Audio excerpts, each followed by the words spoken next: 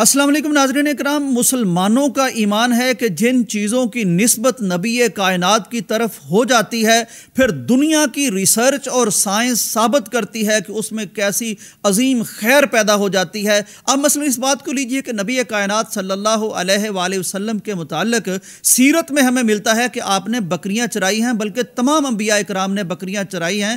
اب یہ جو کام ہے، اس میں یقیناً بہت بڑی خیر ہوگی اور ہونی چاہیے۔ سویٹزر لینڈ نے بکریوں پر ریسرچ کرتے ہوئے پھر بکریوں کی ایک ایسی بریڈ تیار کر لی ہے۔ یہ بریڈ اس کا نام ہے سنن گوڈس اب یہ گوڈس جو ہیں یہ پاکستان میں ابھی آ گئی ہیں اور پوری دنیا میں یہ بکریاں پھیلی ہیں۔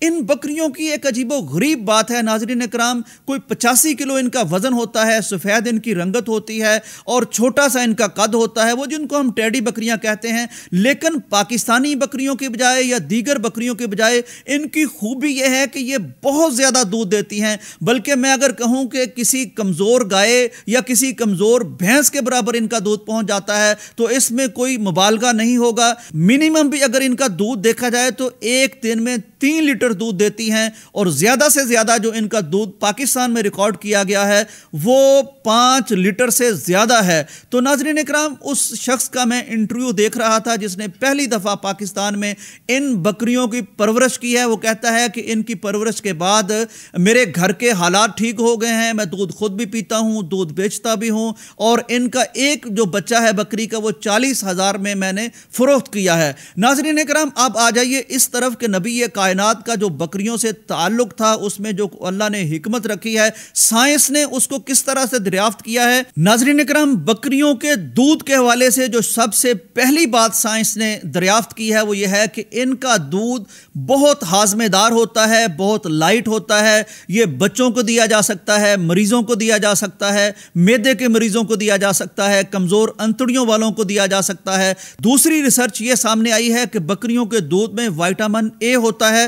وائٹامن اے کی دو خوبیاں ہیں۔ نمبر ایک، یہ قوت مدافعت بڑھاتا ہے۔ بیماریوں سے لڑنے کی بے پناہ صلاحیت انسان کو دیتا ہے۔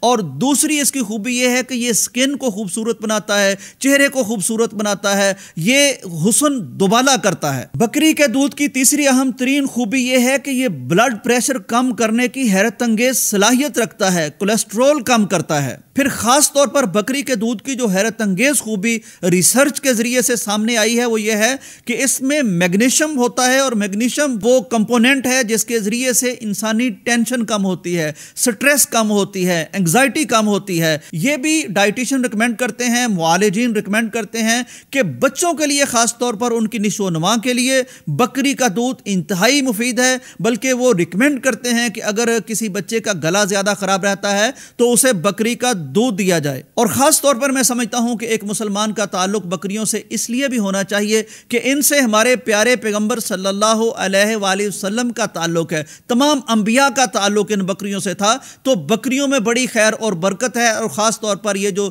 سویٹزر لینڈ میں ریسرچ کے ذریعے سے بکریاں سامنے آئی ہیں، ان کی بریڈنگ کی گئی ہے، ان میں جو اچھا خاصا دودھ مل رہا ہے، خاصی مقدار میں مل رہا ہے۔ تو یہ ایک بہت بڑی اپرچونٹی ہے مہنگائی کے اس دور میں۔ بکریاں پال کے برکت بھی حاصل کی جا سکتی ہے، صحت بھی حاصل کی جا سکتی ہے، ثواب بھی حاصل کیا جا سکتا ہے۔ اجازت دیجیے اللہ حافظ۔